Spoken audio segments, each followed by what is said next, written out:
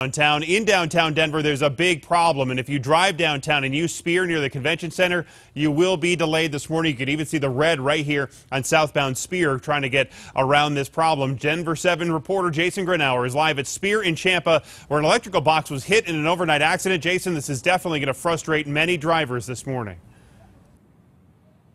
Yes, it is. My normal drive comes right down here through southbound Speer. The good news, it's just a little bit of a jog to get out of the way. However, this intersection normally is a little bit troublesome anyway, and that's because right behind me as the RTD goes by, there's some flashing yellow lights. That's where utility crews are trying to fix that electrical box that were that was hit at some point overnight. Now that box operates the power to the traffic light, and with no traffic light, you simply can't have traffic going down here. So they have diverted it. Here right at Champa is where southbound Speer is closed. Drivers are having to turn here to go to Calumet to then make a left onto Colfax and a right back onto Speer. Now, at this point, the good news is that it is it does not appear that it's affecting RTD. We haven't gotten any updates on Twitter, and I've seen a couple of the trains moving through here, at least so far. This is just that one intersection, that traffic light at Stout and southbound Speer that's affected. So they've been on scene here working on it a couple of different utility crews, but at this point, the cones are up here diverting traffic, the barricades are here. You're going to have to get around it, so either pick an alternate route